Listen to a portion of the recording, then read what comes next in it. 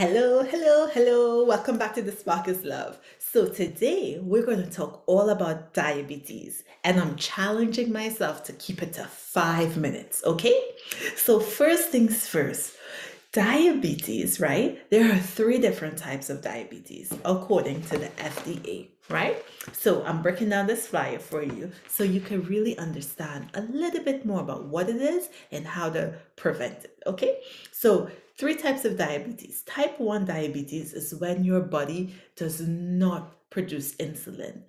Usually, this is found early in life, and you have to take insulin for the rest of your life, right? Type 2 diabetes, your body does make insulin, but it does not have enough or it does not use it well right? And type 3 diabetes, usually we call it gestational diabetes, and it's usually found in pregnant women. And during pregnancy, just during that period, they're to need insulin to control their blood sugar. Now, all of this about insulin. What is insulin? Well, insulin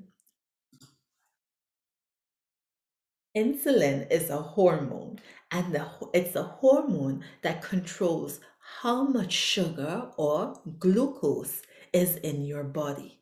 Now, glucose is important because it is needed for energy. So, just like you put gas in a car to make it run, we put our body breaks down in whatever we eat to get glucose or energy so that we could function.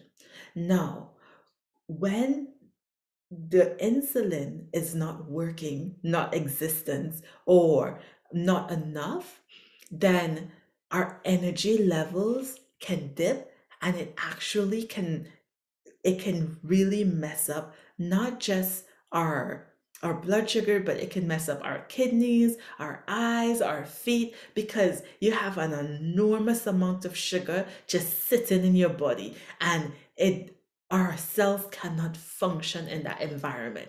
So, this is why diabetes is very important. Okay, so if you have diabetes, you probably already know this. You say, okay, see, I already know this.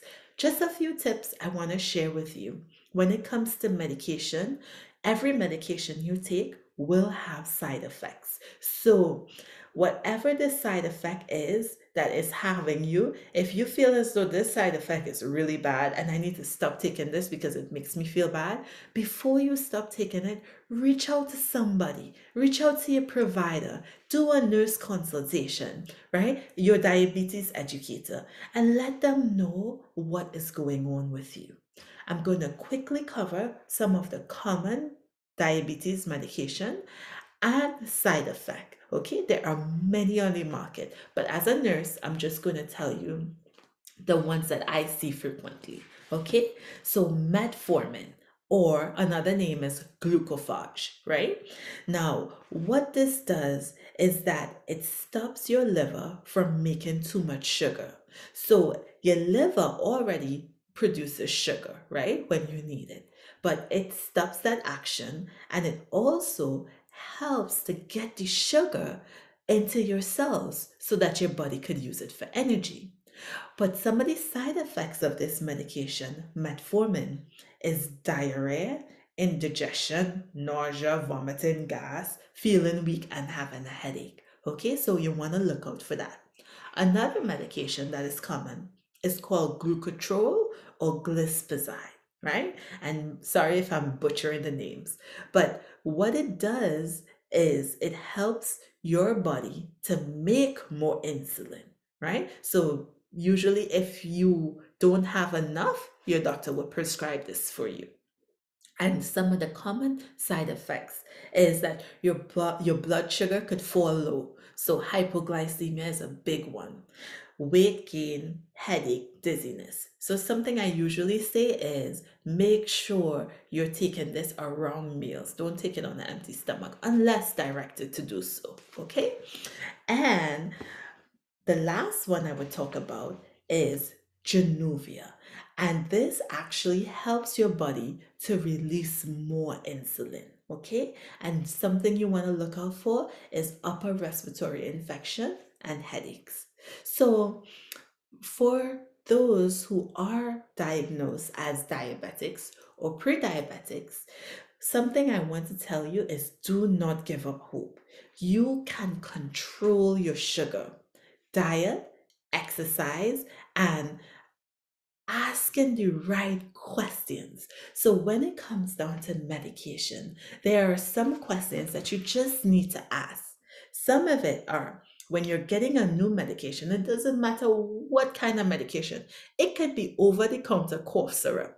You want to ask your doctor or your pharmacist, how will this medication affect my blood sugar?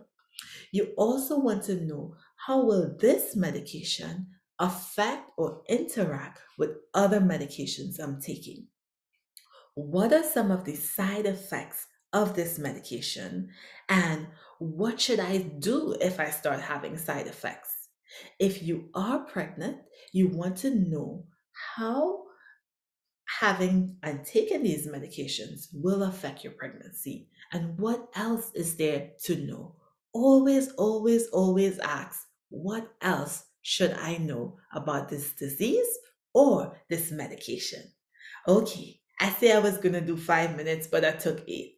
Thank you for listening. I hope this was helpful. Please leave in the comments what are some things that you are doing proactively to care and control your blood sugar levels. You can do it. See you next time.